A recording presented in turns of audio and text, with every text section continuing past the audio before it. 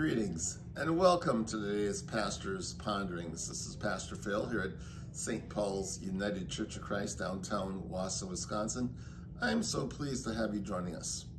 Well, if you are like us here at St. Paul's, you will soon be celebrating First Communion, perhaps, confirmation with your younger folks, and we'll be doing the exact same thing. Matter of fact, confirmation is coming up in just a couple of weeks.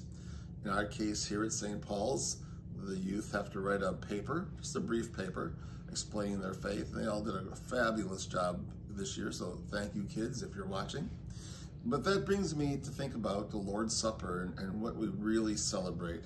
So I'm going to go and read, actually, it's, it's from Mark uh, 14, and um, it's entitled, Jesus Eats the Passover Meal with the Disciples.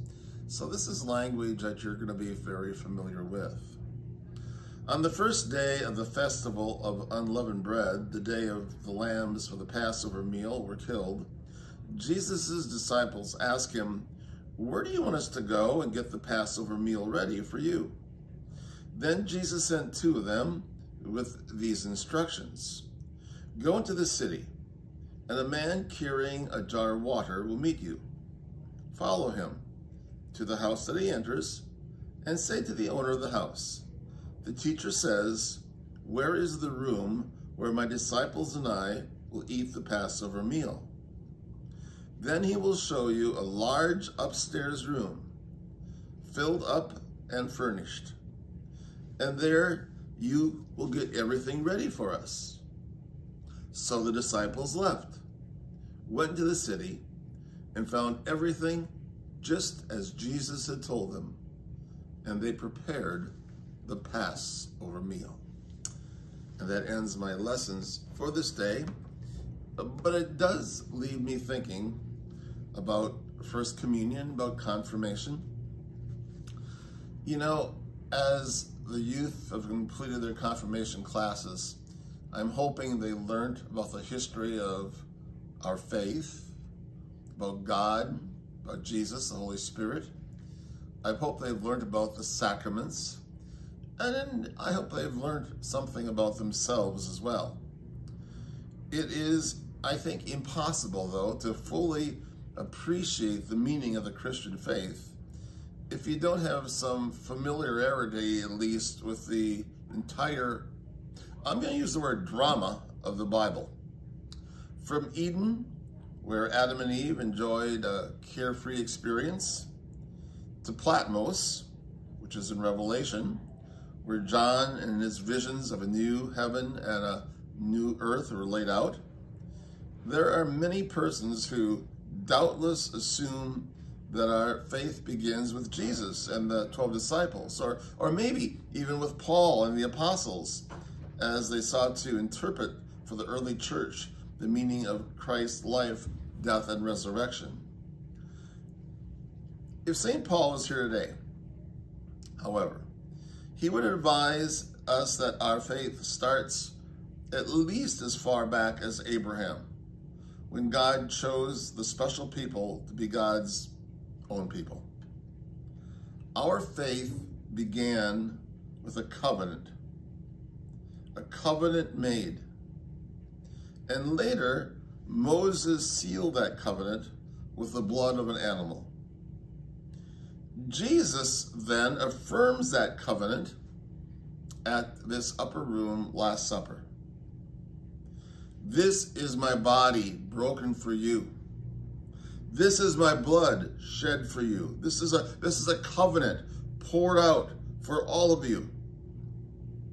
The Christian faith is to be understood as a continuation of that covenant relationship between God and God's people then and God and God's people now. It means, I think, that we're to be proactive, especially as we're observing the covenants of God that God has made. There was a book written not that terribly long ago, entitled The Seven Habits of Highly Effective People. It, it states that in this book, it states that in this book, you just don't sit around waiting for life to happen. You, you go to it, you embrace life. You take the initiative. You don't just go, oh, well, you know, what happens, happens. People who are, I don't like to use the word losers, but I'm going to use the word anyway. They simply react to life. Winners, though, are proactive. They're the ones that go out with gusto to get the things that they need and to have a productive life. I think that God is a proactive God. God does not wait around for us to come to God. God comes out to us. Think of the most popular images we have of Jesus Christ. The Good Shepherd is one of them, with a lost lamb hoisted upon his shoulder, and Christ standing patiently. Or how about this one? We all have this picture. We all seen this where Christ is standing at the door, door knocking. He's seeking you. He's seeking your love. He's offering forgiveness and hope and opportunities. Jesus Christ at the door takes the initiative. God takes the initiative. Just as God came looking for Adam and Eve in the garden, so does God come looking for each and every one of us, ready to help us make the decisions that we need to make to get through our life. Now, that's not unusual. That's the way God works. God will use whatever tool is at hand to speak to us, his sons and his daughters. God is proactive. God takes the initiative. And God comes to us before we would ever think about going to God. We do not have to be perfect to enjoy this covenantal relationship with God. There are so many people today who feel unworthy of God's love.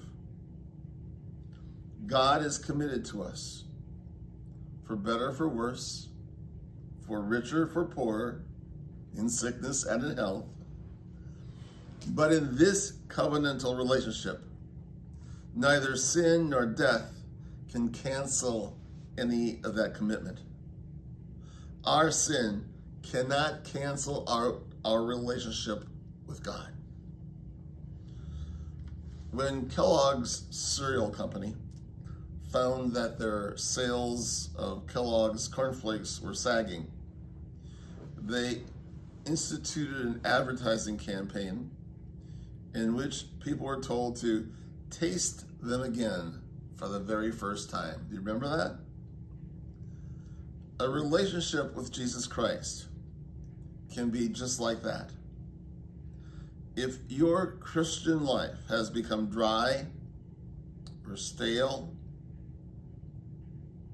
even cold, maybe it's time, maybe it's time to get Jesus Christ known in your heart again, or maybe for the very first time.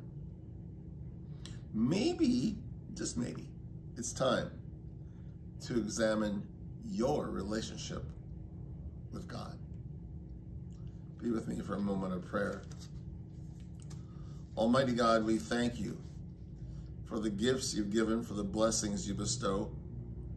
We thank you for our younger generations as they complete another year of confirmation class and are confirmed into the churches, no matter what church they may be belonging to.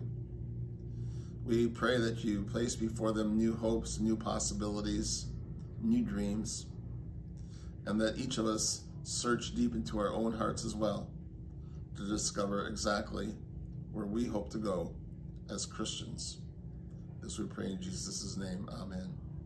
Well, that's just what I'm kind of thinking about today. So um, congratulations to the confirmation classes from whatever church you may be going to from 2022. Godspeed, God bless, and uh, thank you for joining me. Amen.